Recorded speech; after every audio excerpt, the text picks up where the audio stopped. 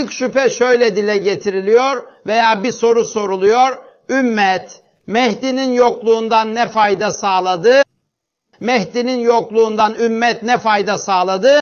İnsan bir şeyden faydalandığında bu bir kazanımdır. Azizim lütfen izin verin bu endişeye cevap vereyim. Bu tür sorular hoşumuza gitmiyor. Aramayı kesmeyelim. Bu cevaplar doğru ve ikna edici olmalı. Ümmet onun yokluğundan ne fayda sağladı? Ümmet Mehdi'nin yokluğundan şunu kazandı. Son ana kadar faydalandı.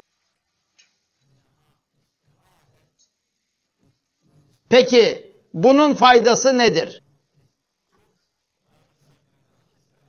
Siz bu sorudan ne fayda sağladınız? Hepimiz bundan ne kazandık? Bizi ne konuda sıkıntıya soktunuz? Ümmetin faydalanması ne demek? Bu soru işe yaramaz. Bu soru cevabı olmayan bir soru demektir. Bu sorunun cevabı yok. Bu bir soru değil. İkinci soru şöyle soruluyor. Bu adamın görevi nedir? Sizin kutsal adam dediğiniz veya beklenen Mehdi olarak adlandırdığınız bu kişinin gaybet dönemindeki görevi nedir?